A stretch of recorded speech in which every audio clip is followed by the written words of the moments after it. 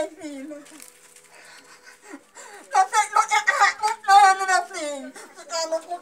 Ai, gente, eu tô filmando aqui.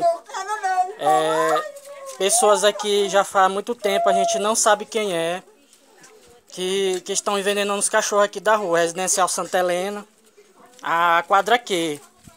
É, todos os dias, quase todos os dias tem cachorro morto. E a gente não consegue pegar esse maldito. Eu gostaria da ajuda de vocês para saber das autoridades quem é que está fazendo isso com os animais.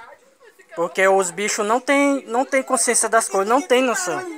E a dona dele aqui está desesperada, logicamente, né? Na minha casa também já foram muitos cachorros.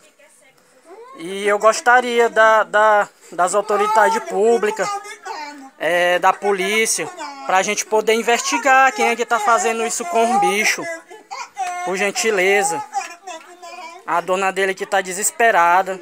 Já foi um cachorro dela que morreu. Já foi um cachorro. Já tem outro aqui envenenado. O da vizinha aqui também já morreu. E o meu também já tá ruim.